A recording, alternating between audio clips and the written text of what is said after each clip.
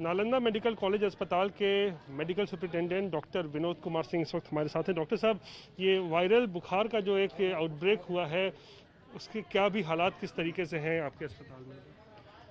ऐसा viral pneumonia जो है, हर साल इस सीज़न में, मानसून के सीज़न में होता है। उसी की कड़ी में इस साल भी हुआ है और वायरल निमोनिया अल्टरनेट ईयर जो है, अधिक होता है। जैसे लास्ट ईयर कम हुआ था तो इस साल कुछ ज़्यादा हुआ है, फिर अगले साल कम होगा।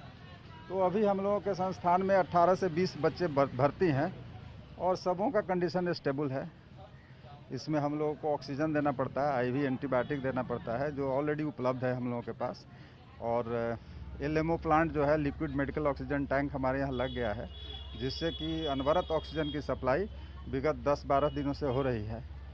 तो समस्या कोई नहीं है और कोई बहुत क्राइसिस भी नहीं है। परसों तक था कि अस्सी पचासी मरीज़ थे यहाँ पर जिनका इलाज चल रहा था बच्चों का? हाँ हमारे यहाँ चौरासी बेड हैं। लेकिन कल चौरासी में चौरासी बेड भरे हुए थे। परसों सतासी थे उसके पहले 93 बेड्स थे पेशेंट थे।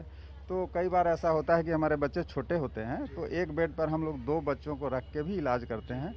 तो कोई असुविधा नहीं है। इसके अलावा हमारे पास एम में बयालीस बेड्स हैं बच्चों के लिए जो कोरोना का तो इलाज चल रहा है उसमें? यहाँ यहाँ तो अभी वही पचासी छियासी बच्चे हैं अभी। जी जी चल रहा है इलाज उनका। किसी तरीके की समस्या ऑक्सीजन की सप्लाई हो रही है? नहीं नहीं बिल्कुल नहीं है। ऑक्सीजन की समस्या तो बिल्कुल ख़त्म है।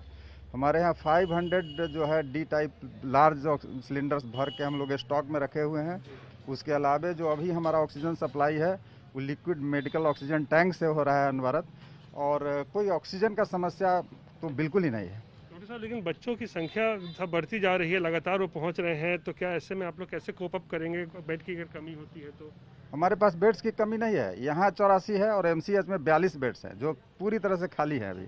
उसको हमने वेल इक्विप कर दिया है। और जब भी मरीज़ बढ़ेंगे हम लोग वहाँ भी भर्ती चालू कर देंगे। तो बेड्स की कमी नहीं है। आखिरी सवाल आपको कि पेडियाट्रिक शिशु विभाग के ही मतलब आप डॉक्टर भी जानकार भी हैं। क्यों आखिर वजह क्या हो रही है? अचानक से ये जो आउटब्रेक नज़र आ रहा है ये आउटब्रेक एक सामान्य आउटब्रेक है और हर साल मानसून सीज़न में सर्दी, खांसी और निमोनिया अधिक होता है। ये सभी इन्फ्लुएंजा के ही रूप हैं। इन्फ्लुएंजा में 95 परसेंट बच्चे जो हैं सर्दी, खांसी से बुखार के साथ आते हैं और तीन से पाँच दिन में ठीक हो जाते हैं। उसमें से पाँच दस प्रतिशत बच्चों को निमोनिया भी हो जाता है, जो थ्रोट और नोज़ का इन्फेक्शन है वो फेफड़ा में चला जाता है। तो वैसी स्थिति में जो है बच्चा पंजरी चलने लगता है, पसली मारने लगता है, सांस फूलने लगता है और उनको ऑक्सीजन की कमी होने लगती है।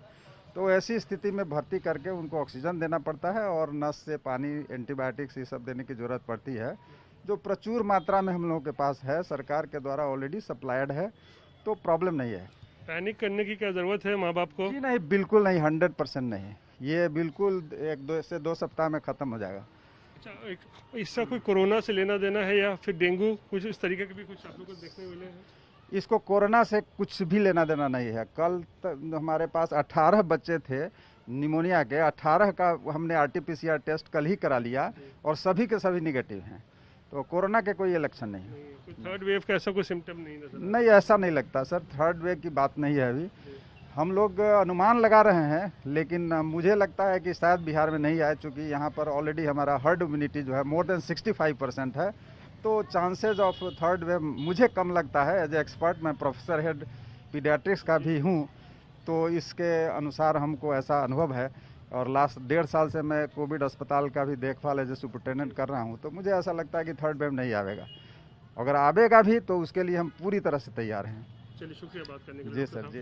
तो डॉक्टर विनोद कुमार सिंह साफ़ तौर पर यहाँ बता रहे हैं कि अस्पताल में इंतज़ाम पूरे किए गए हैं लेकिन अभी जो ज़्यादातर बच्चे जो बीमार हो रहे हैं या अस्पताल में इस वक्त भर्ती हैं वो वायरल बुखार का मामला है सर्दी खांसी का मामला है और इसका कोरोना से या फिर डेंगू से कोई अभी लेना देना नहीं है लेकिन ऐसे में वो माँ बाप से भी जो है वो कह रहे हैं कि घबराने की ज़रूरत नहीं है।